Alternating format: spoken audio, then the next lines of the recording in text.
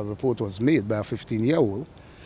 She's saying that on Valentine's Day, she was in the company of two men. She did not indicate um, their age range. Um, somewhat, sometime around 10 a.m. in a house in Benque Viejo. And she's saying that they were drinking and smoking um, cannabis.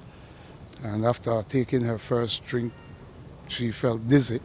When she woke up again, it was like 7.30 in the evening when she was awoken by someone, another man, but not the two, not none of the two that she were originally with. And she's saying that she was um, carnally known.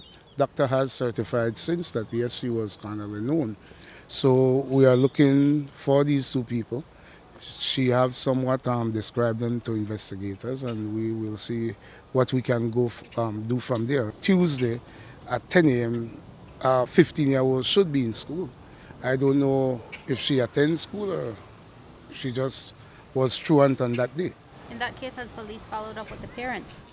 We, I must assure you that both Human Services Department and the police department are doing a joint investigation into this matter because, like I said, she's a minor and we need accountability as to what, why the parents wasn't informed about her whereabouts at that time.